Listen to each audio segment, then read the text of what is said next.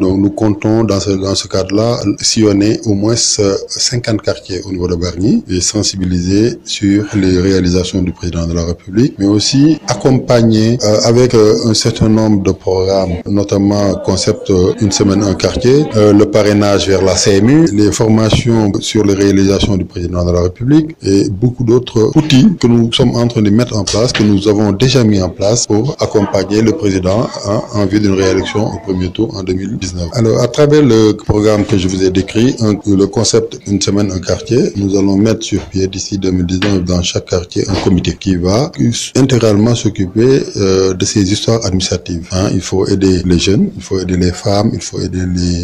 tout le monde en vue de s'inscrire sur les listes électorales, d'avoir la pièce d'identité et de s'inscrire sur les listes électorales. Et je pense qu'avec euh, le concept qu'on est en train de développer, ça va nous faciliter la réussite du programme d'inscription sur les listes électorales qui est un programme important qui est une première étape pour la réélection du président de la République. Parce que on sait que y a une population d'à peu près de 60 à 70 000 habitants. La base électorale euh, dernièrement chiffrée est de à peu près 28 000. Et je pense qu'on peut dépasser cette base électorale-là. Donc il faut sensibiliser les gens à aller s'inscrire sur les listes électorales. Et ça nous permettra effectivement d'assurer largement la victoire de notre candidat au premier tour. Donc nous comptons dans ce, dans ce cadre-là sillonner au moins 50 quartiers au niveau de Bargny et sensibiliser sur les réalisations du président de la République, mais aussi accompagner euh, avec euh, un certain nombre de programmes, notamment concept euh, une semaine un quartier, le parrainage vers la CMU, les formations sur les réalisations du président de la République et beaucoup d'autres outils que nous sommes en train de mettre en place, que nous avons déjà mis en place pour accompagner le président hein, en vue d'une réélection au premier tour en 2019. Alors, à travers le programme que je vous ai décrit, un, le concept une semaine un quartier,